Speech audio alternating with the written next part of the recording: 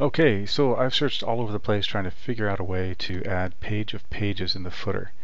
And with typical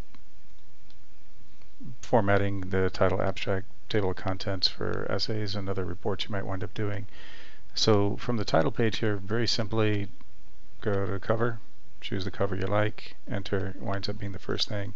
Since it is the title, title page, then you can, if you would like, add a section break here and that's done under layout page break next page. That's the section break. And if you look at it it says here section break next page. So you can use that and type in your title. Abstract let's do the same thing. Let's add a section break to it. Next page go down. Table of contents. We have a table of contents here. Next page is then the table of contents can be put in here and when we put in a table of contents, we're just going to uh, hit enter a couple of times. Go to document elements again. Choose which format you like of table of contents. Just choose the first one here. It automatically fills in um, what I've done. and then if you want, you just go ahead and delete your table of contents. I mean the spaces and whatnot at the top of the page. Anyway, what I've done is I filled in a bunch of uh, Latin text so now I'm uh, on my content page and um, I'm at the top of the content page.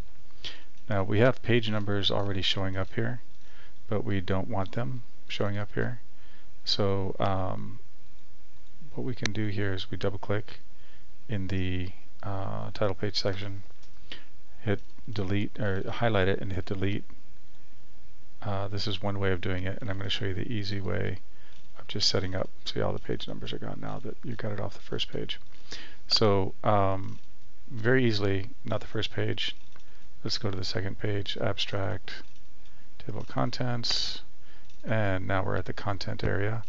So the content area, I'm going to highlight down here, and very simply, I'm going to uh, go to the center and write in, type in, just directly type in page.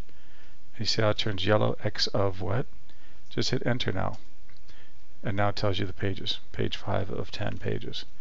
So page 4 of 10 pages. We can erase these as we don't want them or don't need them. So these are easy to remove. What we do is we go to uh, header and footer, different first page, uncheck that box. It disappears, no page number at the first page on your on your cover page. Your second page here for your title page, scroll down, and in front of page 3, we're going to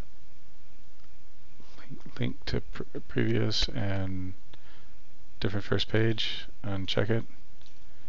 Again here on 4, different first page, uncheck it. So now when we come down to the footer, it starts with page 5. Page 5, it's there. Page 6 of 10, 7 of 10, 8 of 10, 9 of 10, and 10 of 10.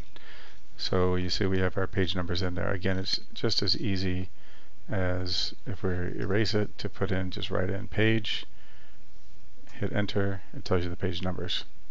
Very simple. Thanks for listening.